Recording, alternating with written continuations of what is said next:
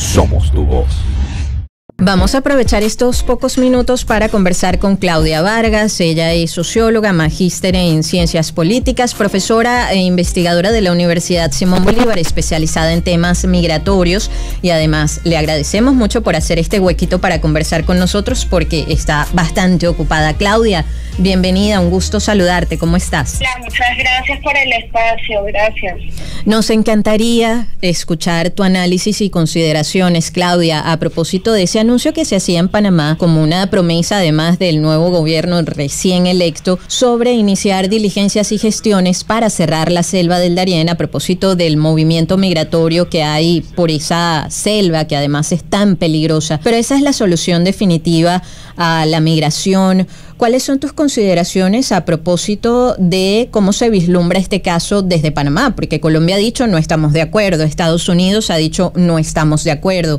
¿Cuál es la solución definitiva a este proceso migratorio? Bueno, eh, la verdad es que es un tema bastante complejo. Estamos básicamente resumiendo lo que es lo, esta reconfiguración de la migración venezolana hacia el norte, digamos, por estas vías donde el Darién ha sido una, una ruta principal, si se quiere, y Colombia precisamente se ha convertido en un país de tránsito. En principio, eso no son más que eh, unas promesas electorales que lamentablemente eh, calan mucho en estas narrativas antimigrantes eh, y, que, y que también calan dentro de lo que ha sido la perspectiva o vamos a ponerlo entre comillas, las respuestas de los gobiernos de la región a la migración en general, ¿no? Y específicamente a la venezolana. ¿En qué sentido? En que la, la respuesta ha sido cerrar, poner, como siempre lo comentábamos, incluso también en este espacio, barreras jurídicas, barreras... Eh, física, que en este caso específico del Darién, pues iría en contra de dos principios fundamentales. Primero, un principio físico, geográfico, yo, yo me atrevería a decir que es imposible cerrar cualquier frontera, eh, puedes poner muros, puedes poner muros físicos, muros jurídicos, o puedes poner toda la, la, fuerza de seguridad que tenga un Estado, pero siempre, lamentablemente, eh, para los migrantes van a encontrar maneras de eh, pasar por vías irregulares, que es justamente lo que los lleva a la vulneración.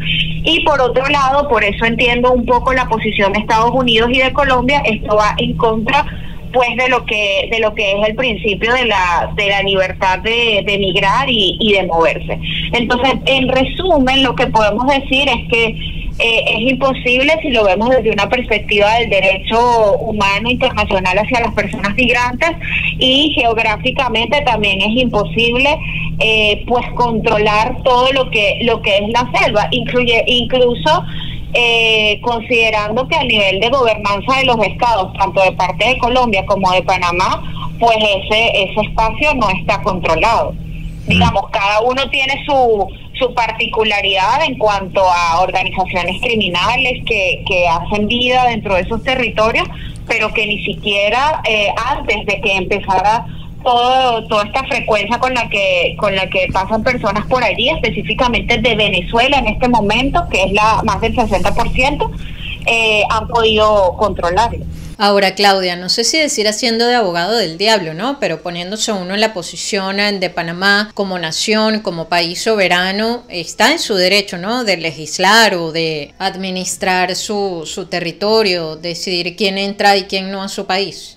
Sí, el tema, el tema es que la restricción va en contra de un derecho de, la, de las personas, ¿no? Evidentemente, yo creo que, que el error ha sido que más de en pensar en políticas, en cómo articularse entre los estados, primero para, para entender que es un problema estructural que no se acaba cerrando la frontera.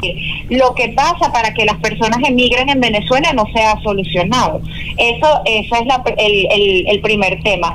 Y lo segundo es que no ha habido una articulación que no sea restrictiva, que no sea antimigrantes, que no sea securitista, sino eh, entre los diferentes estados que están involucrados. Entonces, evidentemente, cada país dentro de su constitución, de su legislación y como parte de su política tiene, digamos, la autonomía de tomar ciertas decisiones pero eh, también esas decisiones no pueden ir contracorriente, eh, aunque sean decretos vinculantes, etcétera, contra lo que es el derecho internacional de las personas migrantes, que además está considerado como un derecho humano que está por encima de todo eso. Entonces, claro, además también creo que aquí es muy importante mirar para las eh, para las personas que nos están escuchando que no no no no creo sinceramente, aunque es una opinión muy personal, no creo sinceramente que esta haya sido una política para resguardar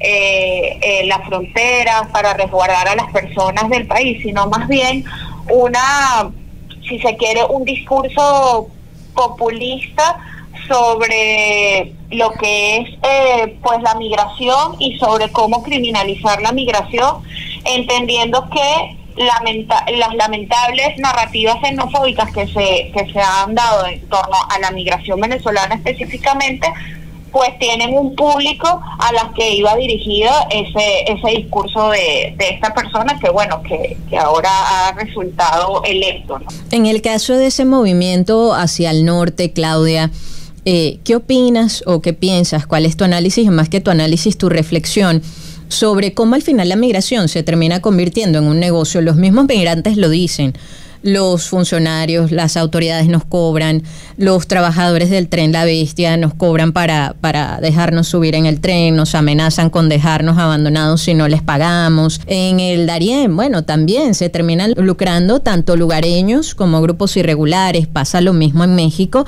y por otra parte el endurecimiento de medidas en México y Estados Unidos y este tema de las deportaciones de los venezolanos, ¿cómo lo ves tú?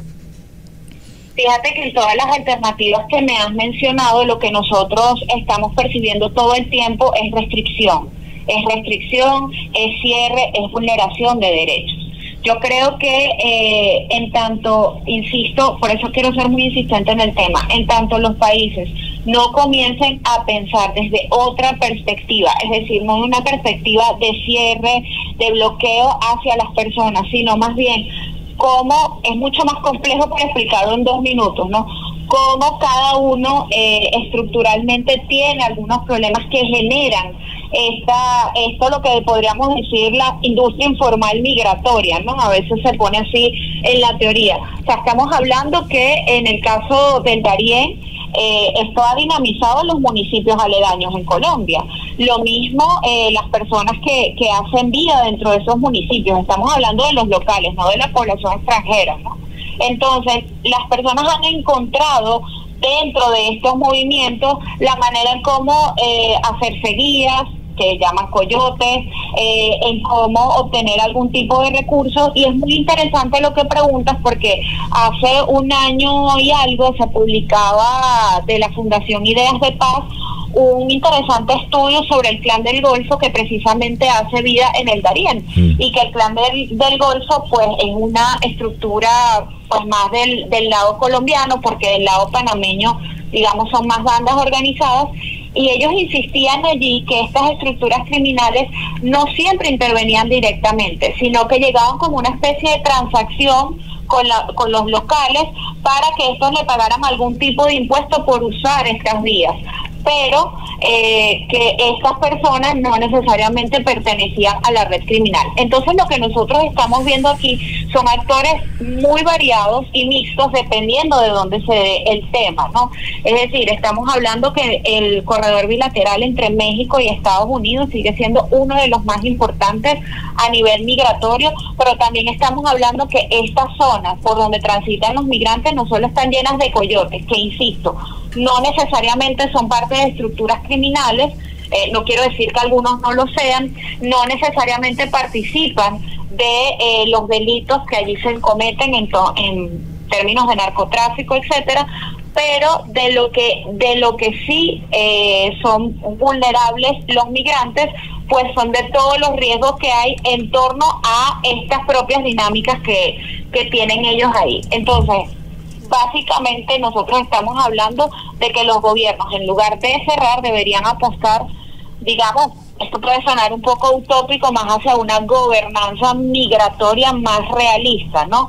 A entender primero qué es lo que pasa allí, que está suficientemente estudiado, a entender que los actores y los migrantes son mixtos, son diversos y que eh, cada dinámica, incluso si lo quisiéramos decir por género, por edad, etcétera, amerita de políticas específicas que eh, no se resuelven cerrando, que no se resuelven con una respuesta lenta hacia los refugios, como está pasando en México, que no se resuelve eh, deportando personas, ¿no?